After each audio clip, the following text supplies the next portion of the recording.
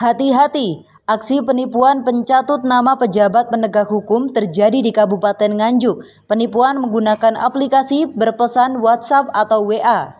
Ulah penipu nyaris memakan korban sejumlah pejabat ASN seperti kepala OPD, kepala sekolah hingga staf OPD. Mereka menerima pesan WA mengaku kasih intel Kejaksaan Negeri atau Kejari Nganjuk Diki Andi Firmansyah.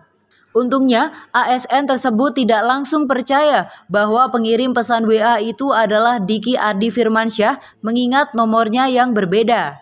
Sejumlah ASN ini semakin curiga bahwa itu adalah akun WA penipu karena mencoba meminta sejumlah uang karena akan kedatangan tamu dari Kejaksaan Agung dan disebutkan jika uang itu akan digunakan untuk membayar fasilitas hotel para tamu dengan iming-iming akan mendapat mitra hukum ke depannya.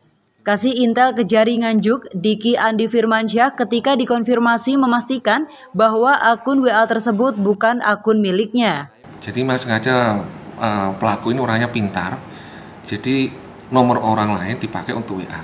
Hmm. Tapi yang sebelumnya itu, itu uh, kita hubungi itu masuk, ternyata malah atas namanya salah satu travel di Jakarta. Hmm. Setelah kita tracking nomor itu berada di Jawa Barat. Mungkin ada himbauan terkait dengan nantinya ada uh, korban susulan pak terkait dengan akun. Nah, baik, uh, untuk himbauan kepada seluruh masyarakat Kabupaten Nganjuk seluruhnya.